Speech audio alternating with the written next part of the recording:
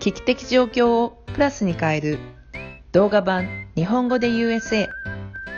アメリカ不動産を3人のリアルターがオハイオ、カリフォルニア、ハワイから読み解きます。はい、こんにちは。こんにちは。お元気ですか？元気ですよ。じゃあ、えー今月、今週だ。ごめんなさい。今週の、はい、不動産、アメリカ不動産の英単語いきます。はいえー今日は特に購入時に出てくる英語について勉強していきたいと思います。えー今日カバーするのは、えーリード、それからサイニング、はい、そしてレンダー、はい、最後にモーゲッジ、この4つの単語について解説していきたいと思います。あはい、プロレーション。あ、ごめん。最後、5つ目、プロレーション。はい、はいい、きます。はい、じゃあまずリードから。はい。みんな待っちゃった。リードはですね、あの売買の、まあ、いわゆる譲渡証書っていう、まあ、日本語で言うとそういう言い方すると思うんですけれども、あの登記のおこれは自分の所有権ですよっていうものをあの示すあの証明書で、でそれをお今の持ち主は、えカウンティの登記所に登記されていて、で、えー売り主さんが買い主さんに、えー売り渡すときに、えー契約がほぼ決まったら、その契約期間中、エスクロ期間中に、そのディードっていうのを、まああのえノータリーっていうね、大体交渉人のサインをして、それをじゃあこの方の次に所有権の、次の人に所有権として引き渡しますよっていうものをまた、えー入れえーサインをしてで、それをまた登記していくっていうふうなものになります。まあ、登記簿ですね。うん。そうですねはい。あのよくあの海外で不動産、アメリカの不動産をえ売買するとき、クロージングするときに、海外にいるままでできますか、それともわざわざアメリカに行かなきゃならないんですか？っていう質問を受けるんですけれども、このディードっていうあの文書は公式な文書で、えーそれからレコーディングというか登記をしなきゃいけないので、この文書に関しては交渉が必ずいる、そういう文書だと思ってください。はい。なので、えっと日本であのアメリカの不動産を売ったりとか買ったりとかするっていう時は、ここの文書に関しては交渉役場に行って、その交渉できる人の前で、えっとサインをする必要がありますね。ただあの購入する方に関してはあのハワイの場合、まあ、他の州市でいませんけれども弁護士がこのサインをいらないような形で作ることができます。なのであの売るときは必ずこれいるんですけれども購入の時には、えー必ずしもこのディードにあの交渉役場のサインがいるというものではないです。えっと、カリフォルニアは売り主だけがこの社員をあの交渉、つまりノータリーでする必要があって、バイヤーさんはしないんですよね。で、ただもしバイヤーさんが自分の名義をですね、まあ大体カリフォルニアの場合は夫婦が共有名義っていうことを取ることが多くて、えーそうじゃなくって旦那さんの名義だけにしたいとか、あの奥さんだけの名義にしたい時っていう時は名義を入れない人にクイットクレームディードって言いまして、うん。そのあの登記はしませんよ。私は私の名前は入れなくていいですよっていうのを作って、えーそれは交渉人のやあのサインがいってそれは、えー名義を外す人が交渉のサインをしなくちゃいけないということですね。だから、まあ、あのカリフォルニアでかあの売られるときはもし日本在住だったらこの、えー交渉人のサインをアメリカの、えー東京にあるアメリカ大使館でやる必要があるんですけれども、なぜかというと、えーこの交渉人はアメリカのどこかの州の、えーライセンスを持っている交渉人がやらなくちゃいけないので、あこれカリフォルニアの場合は？うんでも最近それがなかなかコビコロナでできにくいということで、まあ、これもちょっとあの短く言うと、何箇所かの州で、えーオンラインで、えーまたこういうノータリーのサインができるようになりましたので、そういうオンラインのサインを使って交渉するということを認めているところもあるので、まあ、そういうのを利用しながら、えー進めるということになります。はい。おはようも一緒です。あの売却の時には必ず必要ですけれども、購入の時はなくても大丈夫です。はい。次、サイニング。はい、今ちょっと重なりましたね、あの最初のディードのところとあのサイニング重なりましたけども、これは、えーまあ、両者、購入があの一番最後の時にのこのサイニングですね、ディードにサインをすることをサイニングというふうに言います。ね、ロサンゼルスっていうか、まあ、こっちで割とサイニング、サイニングっていうのをどういう時によく使うかというと、あのローンを借りる時に、ローンドック、ローンドキュメンテーション、一番最後にあのローンを銀行から借りるときって、まあ、あの不動産の売買契約書と同や同様ぐらいのこんな分厚い書類にサインをする必要があるんだけどもやっぱりそれは大きなお金を借りるので必ず notary の人に、えっと、来てもらってでそこの目の前で notary の signature を入れるっていうこと notary の人のサインをするっていうので、えー、 loan doc の signing をしますっていうような言い方でよくあのこっちでは使うことがありますね、 signing っていうのは。うん、 escrow がやるあの escrow で全部それを一気にやってしまうことが多いかなこちらは。うん。そうね、うちも escrow の人が大体 notary の公証人のあの資格者なんで escrow に行ってやることもあれば、スクローが平日しかやってないから土日とかだったらトラベルノータリーっていう言い方するんですけども あのどっかに出張に行ってくれるノータリーの人を手配してもらってで自宅に夜に来てもらってサイニングするとか、うん、そういうこともできます。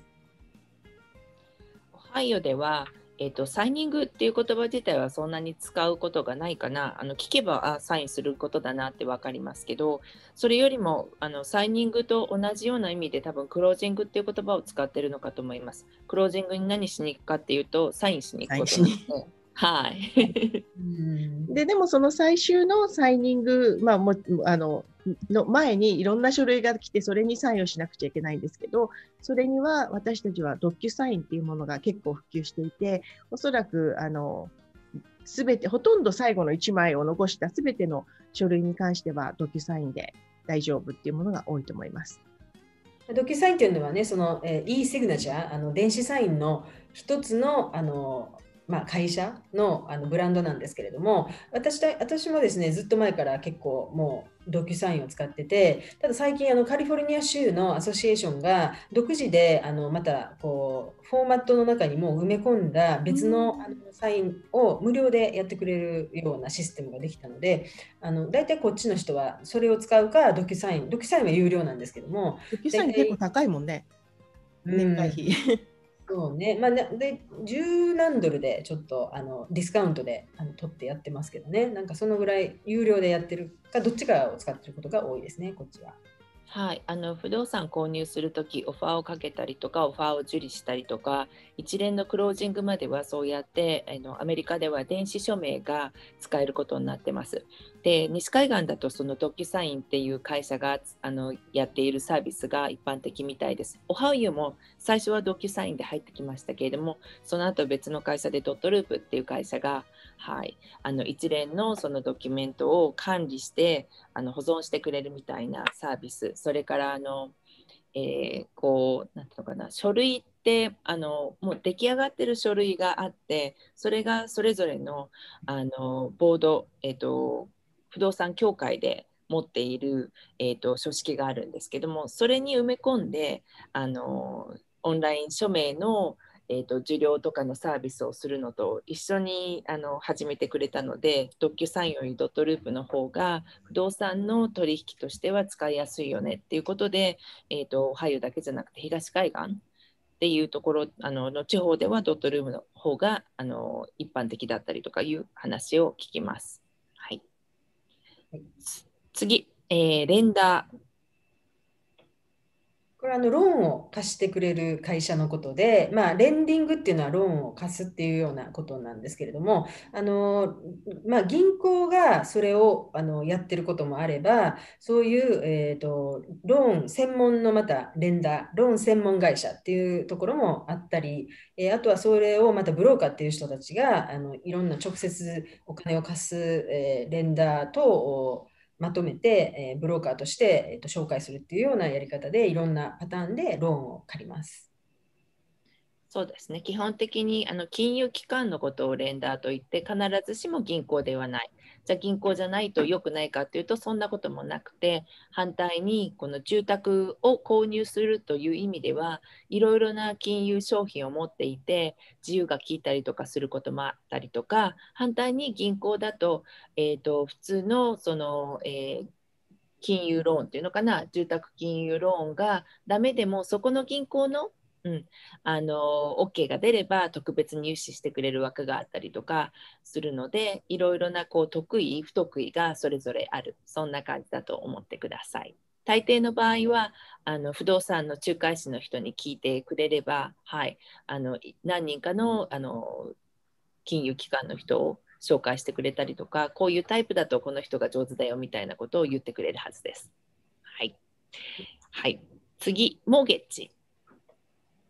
これはさっきのレンダーがそういう、えー、お金を貸してくれる、えー、会社とか組織だとしたら、モーゲージっていうのはローンのことですよね。あの住宅ローンっていうふうに日本だと言いますけども、まあ、モーゲージっていうのは、まあ、その住宅ローンそのもののことをあの指すので、えー、まあ、そのパターンはだいたいあの固定で何年間固定っていうので借りたりとか、えあるいは短期だけ固定で、あとは変動金利で借りるとか、まあ、いろんなパターンで借りる。あの日本語でいう一般的な住宅ローンのことをモーゲージっていうふうにうちでは言います。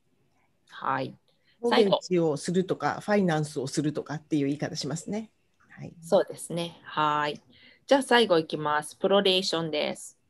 はい、プロレーションっていうのは日本語で言ったら日割り計算という意味で、えー、例えば あの、えーもし買い買う売買の時に、例えば、え1月の20日にもし契約をクローズしましたと。そうすると、例えばホームオーナーズアソシエーションのフィーを1月の20日までは今の持ち主さん、1月の21日から31日は、え新しいバイヤーさんでプロレーションしましょうっていうふうなことで、あ30日で、え30日とか30、まあ、あの法律、日本あカリフォルニアの法律では、まあ、どういう場合でも大体30で割るんですけれども、30日で割って何日間分というふうな日付あの日数で計算した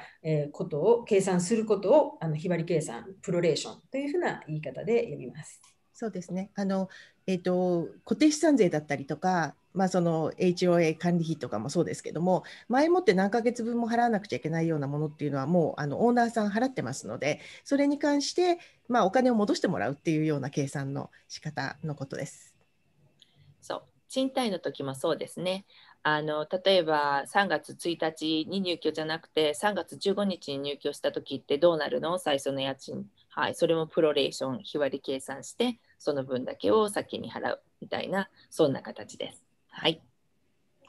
はい、えー、今日は不動産の中でも購入の時はい、よく出てくるような単語をおさらいしてみました。ちょっとあのこれからお家を買おうかなって言ってる方、えー、おさらいしてみるといいのかなと思います。よりあの取引私たちが言ってることが分かりやすいのかなと思います。はい、ありがとうございます。はい、ありがとうございます。はい。